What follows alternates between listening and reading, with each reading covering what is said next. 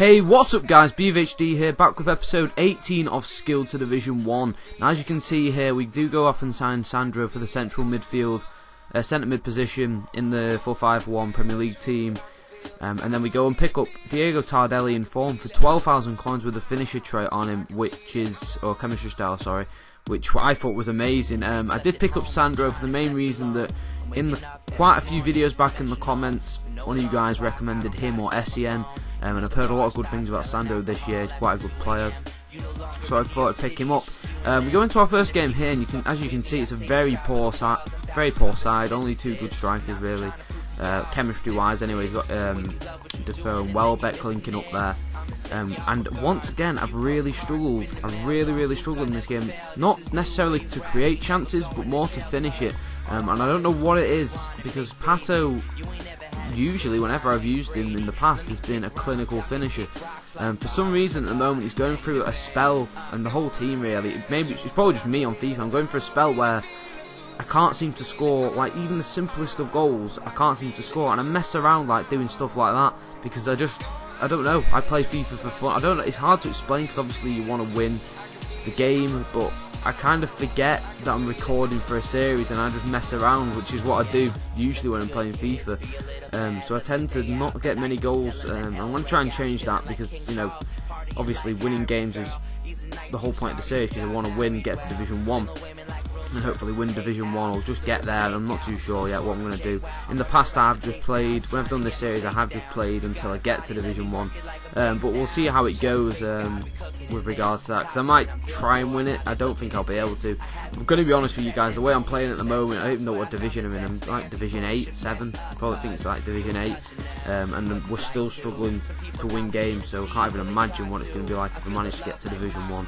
It's going to be crazy sweaty. Um, but yeah as you can see in this game, we had a lot of chances, a heck of a lot. compared to the second game, um, a lot of chances. We didn't score until the 90th minute, and I pulled out. I didn't even intend to do that. I'm not even going to lie. I did not even mean to do that. I tried to pull it back, and it made a pretty good pass, but it was such a sweaty goal, little tramp goal there. I wasn't happy with that, but at the same time, I kind of was because it means I get a it means I get a point, um, which is better than nothing, I suppose. But anyway, we're getting tough. Going. Oh my god, my commentary's terrible again. We go into the second game here. As you can see, he's got kind of a weird little mix. He's got a bit of League One in there with Thiago Silva and a few other players there, uh, Russian League, so on and so on. And we're just showing here the inform uh, Diego Tardelli's in-game stats. Um, if you, if you guys were interested, really, I just thought I'd show it. Um, obviously, you know, he's a pretty good player. I've not really had much chance to use him, and I've not played FIFA in a couple of days now. As you will have noticed, there's not been any videos for about four or five days. I think it's about four days. Thursday night, I think, was the last one.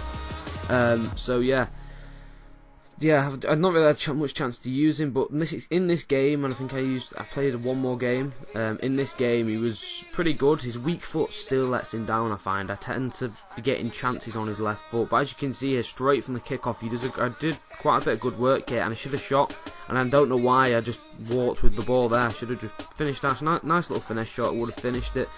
Of course, he goes up the other end of the bloody pitch and just bags one in the seventh minute, literally straight after that. I don't know how that went in. It was a pretty good strike, but De Gea really should be dealing with that. Ronaldinho going on a bit of a crazy run, as I like to do. Um, we do mess up just here he gets a tackling.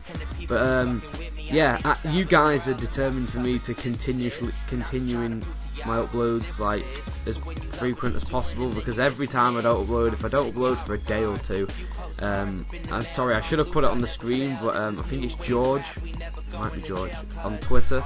Um, he just comments the, on the videos as well, but he always tweets me if there's not a video going, oh, where is Skill to Division 1, what are you doing? So, you know, that kind of reminds me, because to be honest, I kind of forget about it. I'm not going to lie, I forget I do YouTube sometimes. Because I do have a lot of other things going on, but, um, yeah, we are coming towards the end of the video. I do appreciate that, guys. Like George, I, I think it's George. I, I hope it's George, because if it's not, then I'm going to feel really bad after this video. But I do appreciate you guys, like, motivating me and encouraging me to continue with my videos and continue uploading. And the support at the moment's been great. You know, I think we're about 11 subs off 1.1k, which is brilliant, guys. So uh, thanks a lot for that. I hope you have enjoyed the video. A like would be much appreciated. Subscribe if you're new around here, and I will speak to you tomorrow. Cheers, guys.